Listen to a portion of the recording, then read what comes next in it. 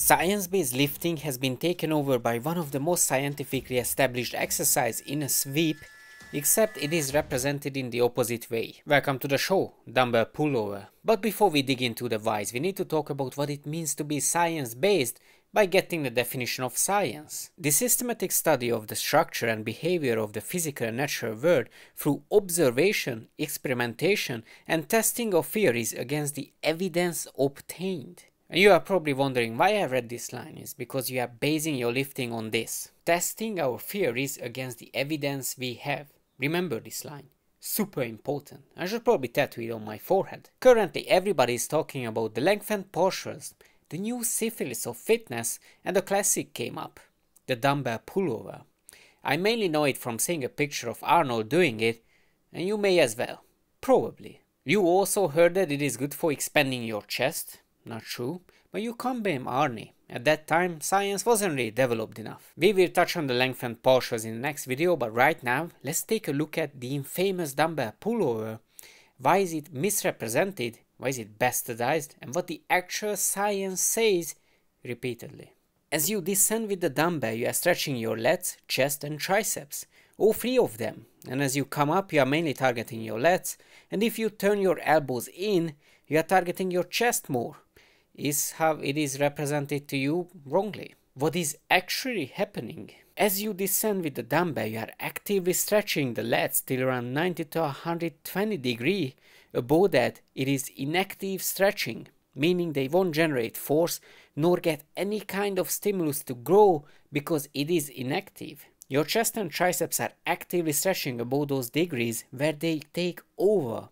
This is easily explained by neuromechanical matching and where the muscles have leverage. Neuromechanical matching is moving activation from one muscle to another as they lose and gain leverage. And it makes sense in an efficiency standpoint, at least to me and to you by the end of this video. Unfortunately, by rotating your elbows in and out, you are not changing anything. You are just putting yourself in an unnatural, uncomfortable position and your body will signal to you pain and discomfort and you are not changing the biomechanics of the exercise nor where the muscles have leverages. But why did I say that? It is shown repeatedly in science literature.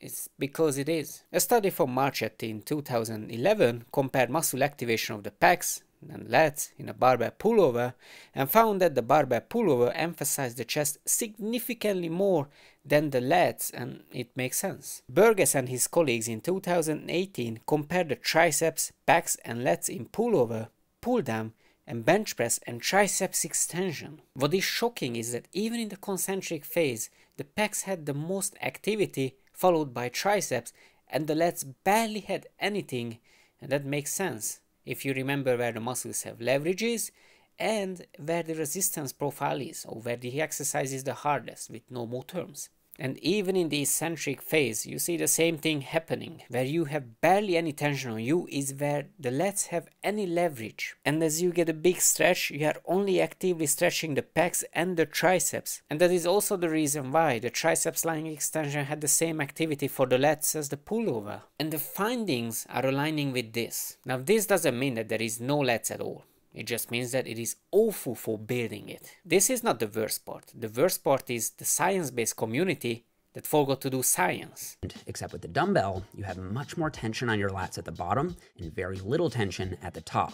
Now, this isn't such a bad thing though, because the stretch is most likely the most anabolic part of the range of motion anyway. Immediately makes the exercise more challenging throughout the final portions of the range of motion without dropping off a huge amount at the stretch. Now, I believe that the biggest problem is that exercise science is broadly disconnected from physiology and biomechanics as a whole. Now, I'm not an exercise scientist, I studied muscle physiology, so I had to learn everything outside of that and then make the connection. But it seems like exercise science they don't do that. They just do exercise science and uh, ignore human physiology as a whole. I don't even want to talk about biomechanics because, let's be honest, physics sucks. Like, even in elementary school, physics sucked.